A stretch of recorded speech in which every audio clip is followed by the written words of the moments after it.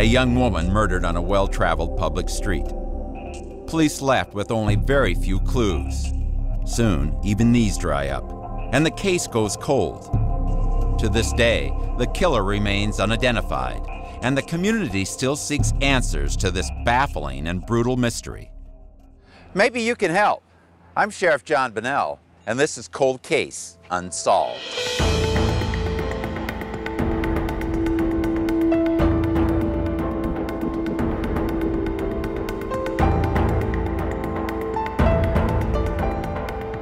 Most important person in the case you're about to watch could be you, the viewer. If you see anything that triggers a memory or a suspicion, we need to know about it, and so do the local authorities. Later, we'll tell you how you can contact us. Until then, watch closely as we present the facts as they currently stand in this cold case unsolved. September 17, 1988, the city of Gresham, Oregon, a sleepy suburb of Portland. 25 year old Ann Hansen, who lives with her parents, looks forward to a pleasant weekend. A recent college graduate and athlete, she works at a ski shop in Portland.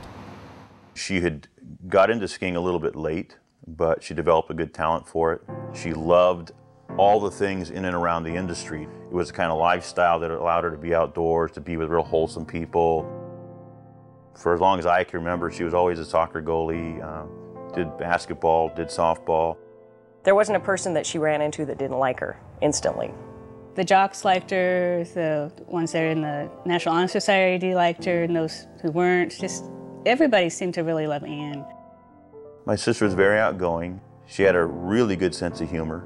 And she was one of those gals that appealed to a lot of different people. I mean, she was the one that listened, the one that, you know, helped keep a friend on track. She was always sort of the motivator, the instigator, the one that generally was making, you know, others, you know, feel better. On this particular weekend, Ann's schedule took her west into Portland to her job at the ski shop. She left her pickup here in the public parking lot of MAX, Metropolitan Portland's light rail system. Next, she boarded the train for the 40 minute ride into Portland, where she spent the day at work. Then, as evening approached, she and a female co worker decided to tour the Oktoberfest celebration at Lloyd Center, a large shopping mall just a few blocks away. Around 7:30 p.m., Anne and her friend left Lloyd Center in her friend's car and drove to another Oktoberfest event in the community of Mount Angel. Here, Anne made a seemingly insignificant decision that would eventually seal her fate. She decided to leave her backpack and coat with her car keys in the trunk of her friend's car while they attended the celebration. Friends and family said this wasn't unusual for Anne, who frequently wore sweatpants with no pockets and was always misplacing her car keys. But on this particular occasion, it set in motion a tragic train of events that would culminate in a brutal and senseless murder.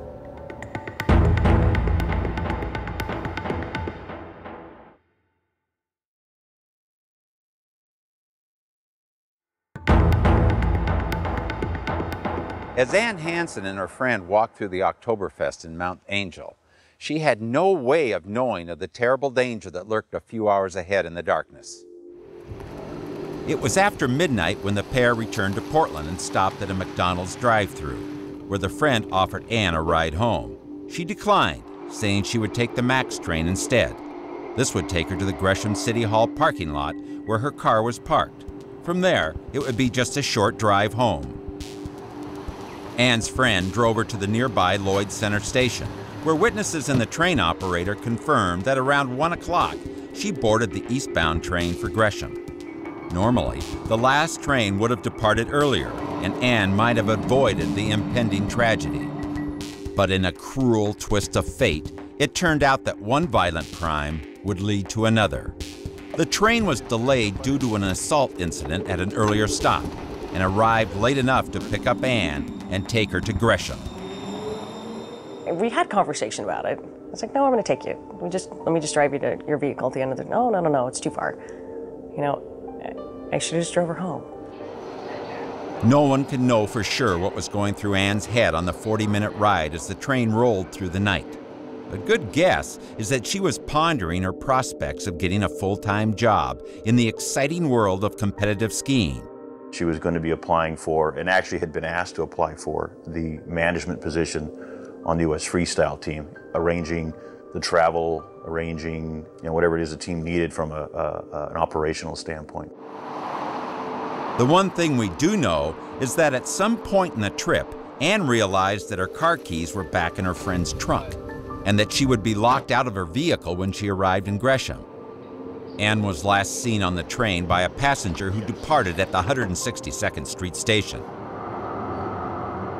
She realized somewhere on that MAX train that she didn't have her keys and probably either made the decision on the MAX train or when she got to the, the parking lot where her vehicle was that she would just walk home.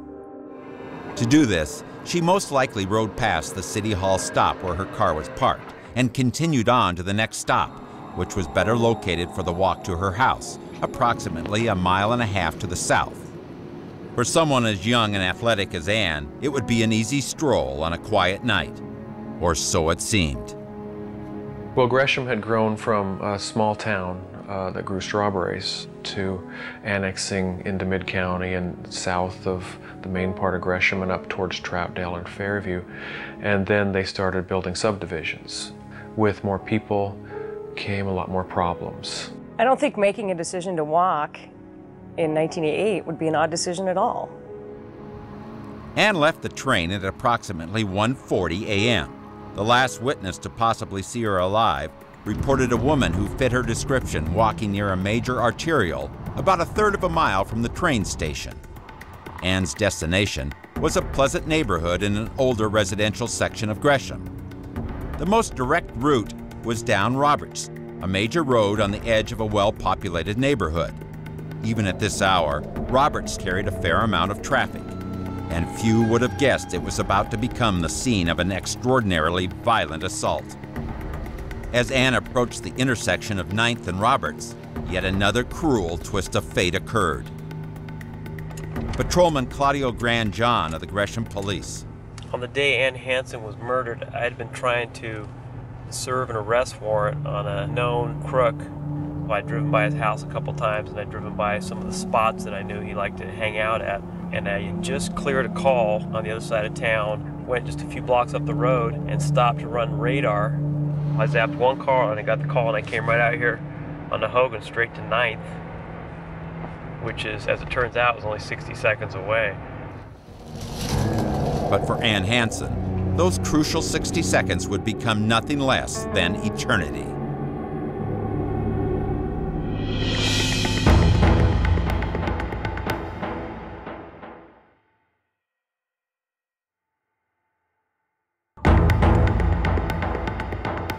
September 18th, 1988 a chill, damp fall night in this quiet Gresham neighborhood.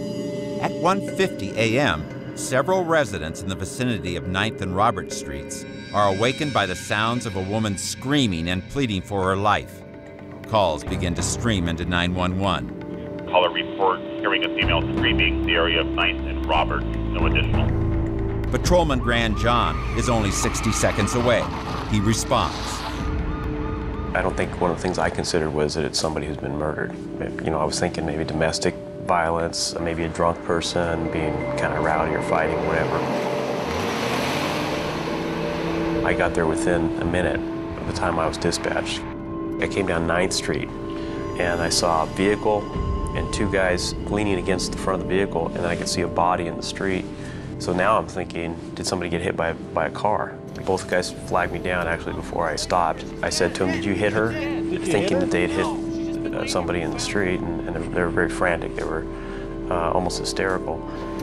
And as I was walking up, before even getting to her close enough to make out any detail, I could see a large pool of blood around her head. So I knew that there was a, a serious injury. And then I walked all the way up and then I, it was quite obvious that she was deceased. It was uh, what we call overkill beyond what was necessary to just kill a person. Lot of stabbing and slashing. It was a very violent scene. I've been a police officer for 18 years, and uh, this is um, along with one or two other cases that I can think of the most violent scene I've ever been to. Well, Ann Hansen had uh, at least 11 separate cutting and stabbing wounds. She had two wounds to her neck, which are slashing wounds, severing a large vein in the neck.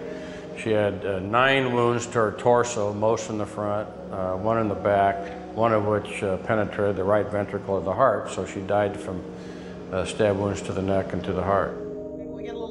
Carla Piluso, now Gresham's chief of police, was a detective at the time of Ann Hansen's murder.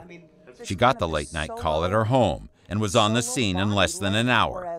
Most crime scenes I have been at in the course of my career would be inside a home and you could relate another person to it or there was there was some indication of a reason and there was just no reason why this should have happened other than it was uh, you know the hours of darkness.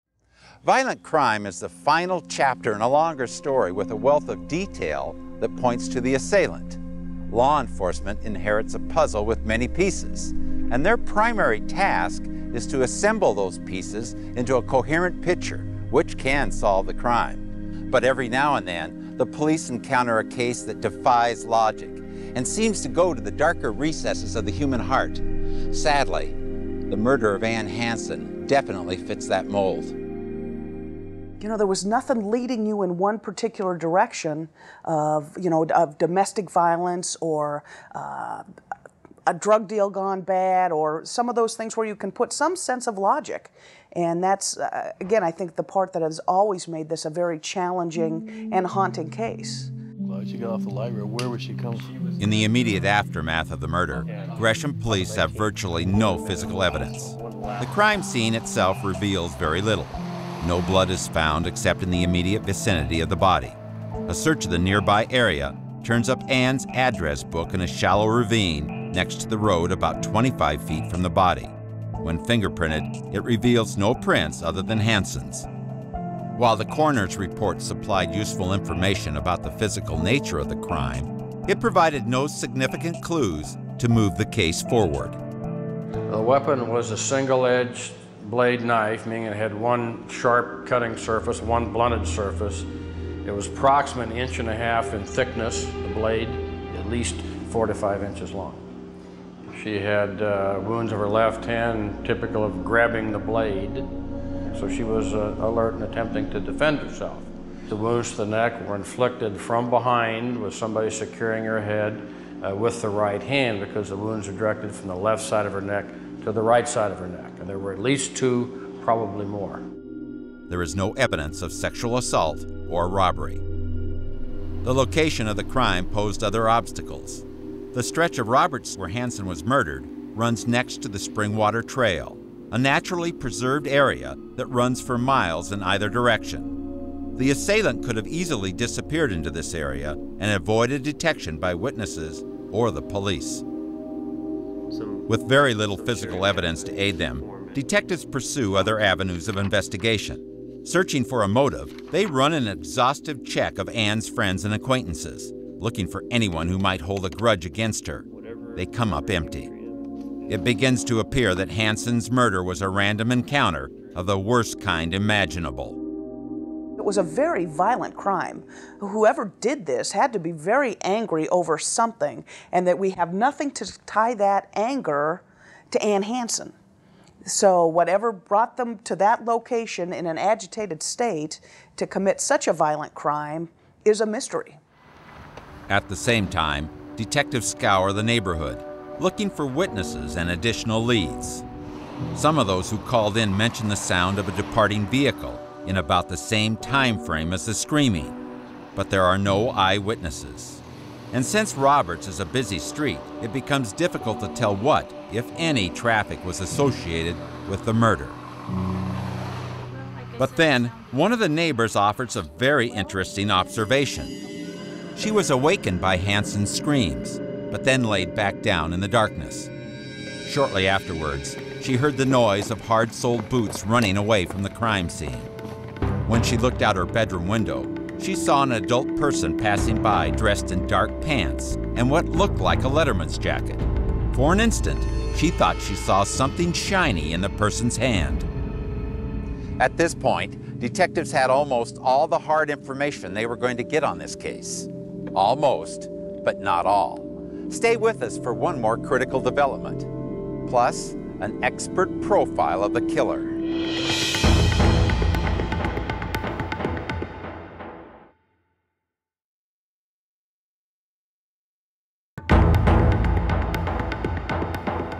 One major challenge in the Ann Hansen case was to reconstruct the specifics of the crime, even though the scene yielded very little evidence. The only two facts known with certainty were the duration of her train ride to Gresham and the location of her body on Robert Street. It seems highly unlikely that Anne was stalked by someone she met at one of the Oktoberfest celebrations. The length of the car trip back to Lloyd Center and the random decision to take the train would have made it nearly impossible to intentionally trail her back to Gresham. Another possible but highly unlikely scenario is that Anne accepted a ride with someone after she was last seen walking toward her home.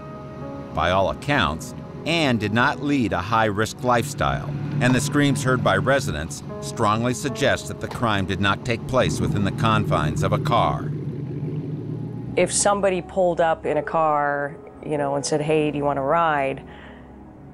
I'm not sure she would get in, but being the trusting person she was, you know, maybe she would, or maybe it was an acquaintance, or maybe it's somebody that she'd seen before. The timing of the train ride and the calls to 911 strongly suggest that Anne was murdered at or very close to where her body was found. Her train stopped in Gresham at 1:43 a.m., and the first report from residents occurred at 1:55 a.m., an interval of 12 minutes just the amount of time it would take to get from the train station to 9th and Roberts on foot. This scenario still leaves two possibilities. One is that somebody in a vehicle stopped her on Roberts, attacked her, and then departed before any other traffic witnessed the incident. The other is that someone on foot caught her and killed her, then melted away into the night, either into the residential area east of Roberts or down into the deserted darkness of the Springwater Trail. But without hard information, it became impossible for investigators to do more than speculate. You want to come over here for a second? The critical 48 hours when the vast majority of homicides are solved had come and gone. Ten days after the killing, posters went up all over Gresham, asking anyone with useful information to come forward. While a number of tips did flow in, they failed to produce a substantial break in the case. My main feeling is that if this person or persons can be apprehended. Um, it won't bring back my sister, but it may save some other family or persons the same kind of grief and loss that we've had to go through. As the weeks turned into months, no new leads of any significance materialized. The trail toward the killer, never warm from the outset, grew increasingly cold. Fall turned into winter. After checking out over 136 tips and conducting nearly 200 interviews, the case had slowed almost to a standstill.